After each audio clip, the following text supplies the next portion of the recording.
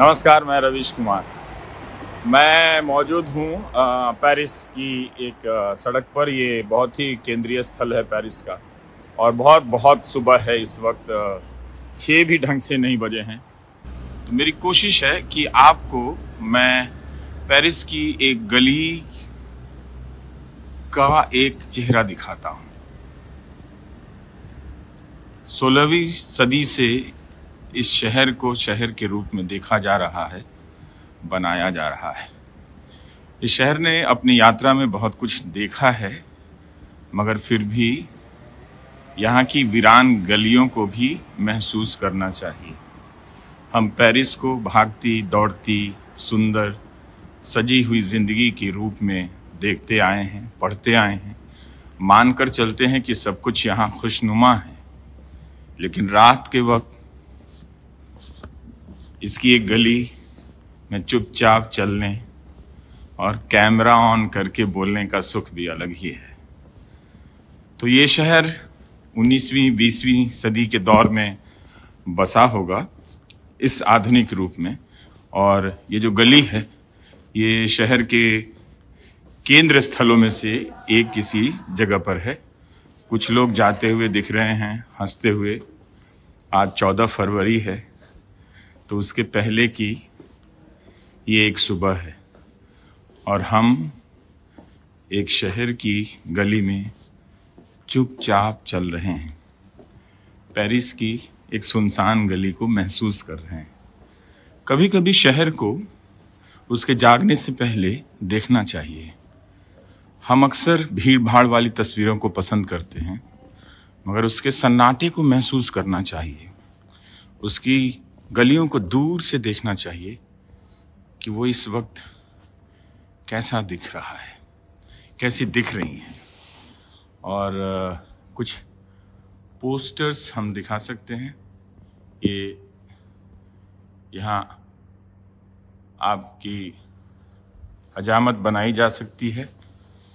और, मुझे मालूम नहीं है कि आगे जाना, कहाँ तक जाना सुरक्षित है। या नहीं है। लेकिन कुछ पोस्टर तो हम देख ही सकते हैं। चौदह फरवरी का दिन है। तो आप देखिए और आप यहाँ से इस गली से पेरिस को महसूस कीजिए। ऐसी ही गली तो आपके अमृतसर में है। ऐसी ही गली तो करोल बाग में भी होगी। और ऐसी ही एक गली जो है वो बनारस में होगी। इसे देखने के लिए न जाने कहाँ कहाँ से लोग आते हैं। मगर एक खूबसूरत चीज़ देखिए कि इस गली नुमा सड़क पर भी फुटपाथ बनाए गए हैं। और ये फुटपाथ जो हैं, बहुत सकरे हैं। मगर पैदल चलने वालों के को एक जगह दी गई है कि आप इस पर पैदल चल सकते हैं और लोग इसका इस्तेमाल भी करते हैं। तो फुटपाथ बनाने का संबंध जगह के होने या नहीं होने से नहीं है। फुटपाथ तो बनेगा ही बनेगा, जिस पर लोग पैदल चलेंगे और बिना इसकी कल्पना के आप किसी और शहर को नहीं जान सकते, ना देख सकते हैं, ना ये पेरिस हो सकता है। तो इससे पहले कि बहुत सारी गाड़ियाँ इसकी सड़कों पर भर जाएँ, हम इस शहर को इसकी सुबह में देखते हैं। और महसूस करते हैं इस पेरिस को कि कैसा लग रहा है। दुकानों में सामान पैक किए जा रहे हैं और ये सब लगता है होम डिलीवरी के, की गाड़ियाँ हैं। और आपको कुछ पोस्टर दिखा रहा हूँ, जो आज चौदह फरवरी के हैं। तो आप देख सकते हैं, ये वैलेंटाइन डे की तैयारी है। बहुत ज़्यादा तो नहीं है कुछ चीज़ों को मैं खुद समझ नहीं पाऊँगा कि क्या लिखा हुआ है। और अब अब आए हैं यहाँ चार दिनों के लिए, अब फ्रेंच सीखने और नहीं सीखने का मैं लोड नहीं लेने वाला तो नहीं आती है तो नहीं आती आने को तो भारत की दो चार भाषाएँ और आ जाती तो धन्य हो जाता जीवन। लेकिन आप जरा अकेले चलकर भी तो देखिए। वहाँ आप देख रहे हैं कि ये रेस्तरा है। और सारी कुर्सियों को एक के ऊपर एक रख दिया गया है। ऐसे तो हम भी रखते हैं ना पटपटगंज में पहाड़गंज में। तो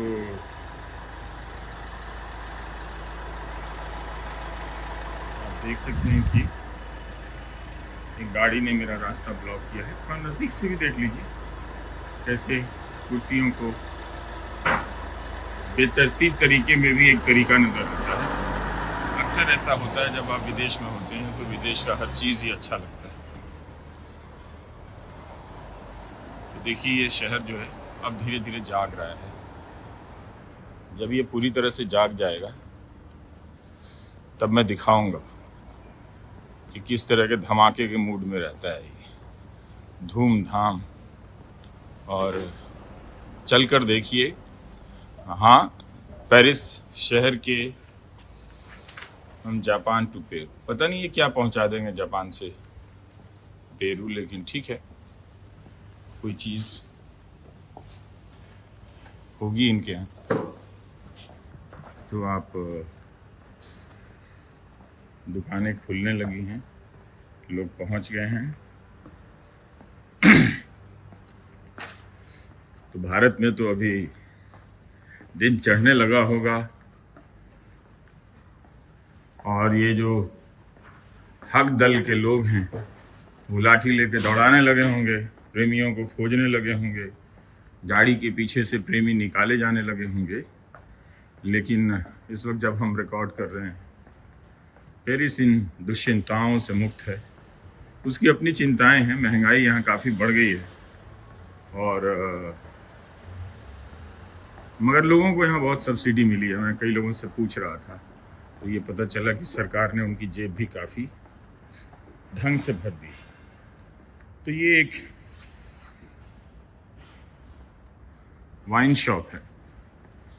और अब इस ब्रांड के बारे में कुछ बताना नहीं चाहता हूँ। सो रहने दीजिए।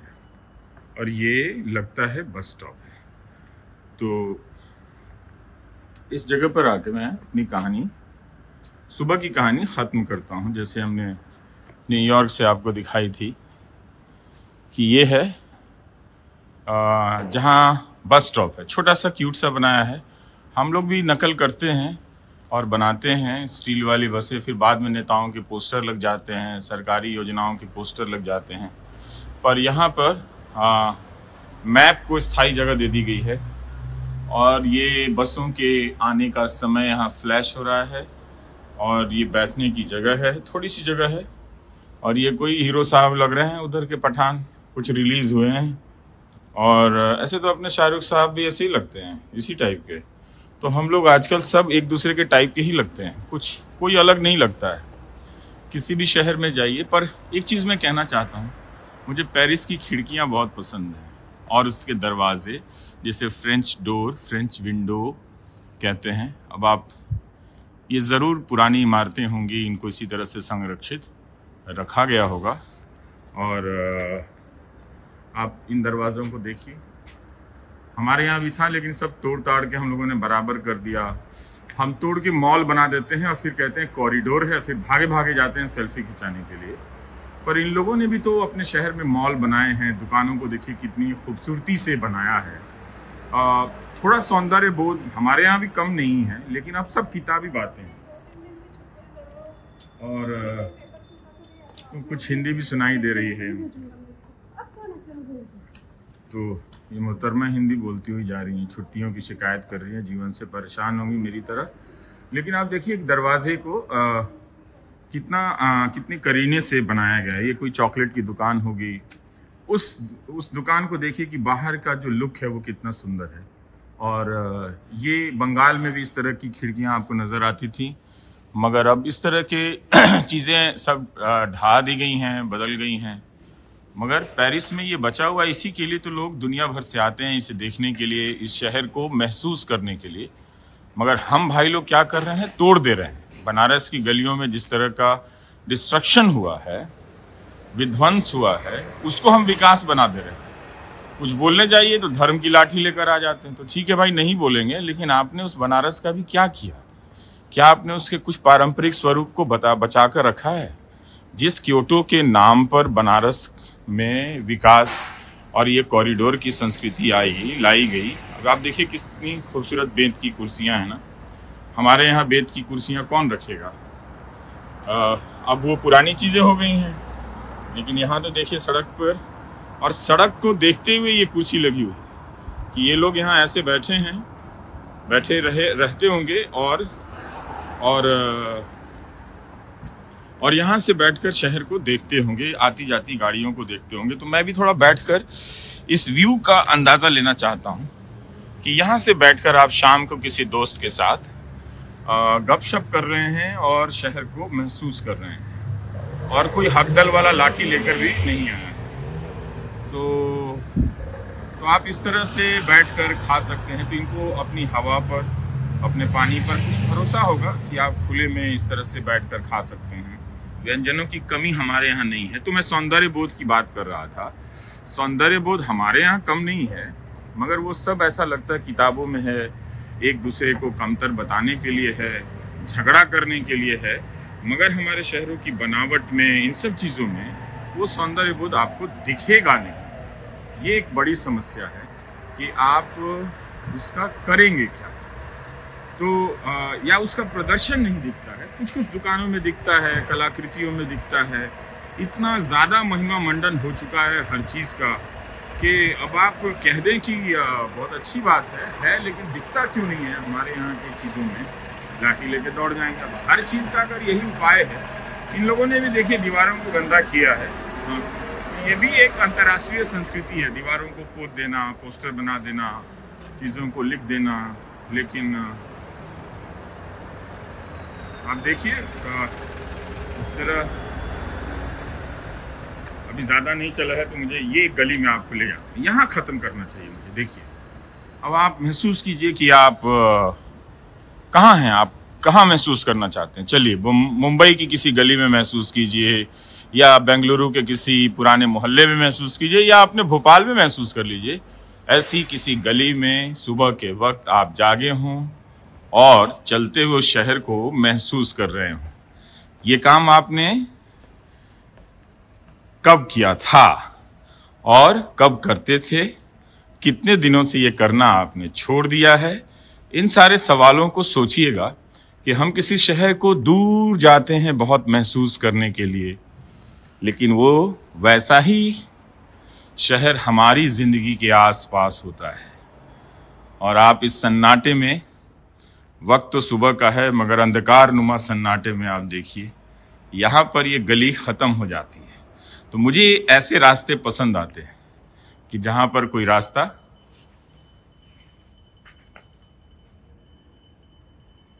ख़त्म हो जाता है।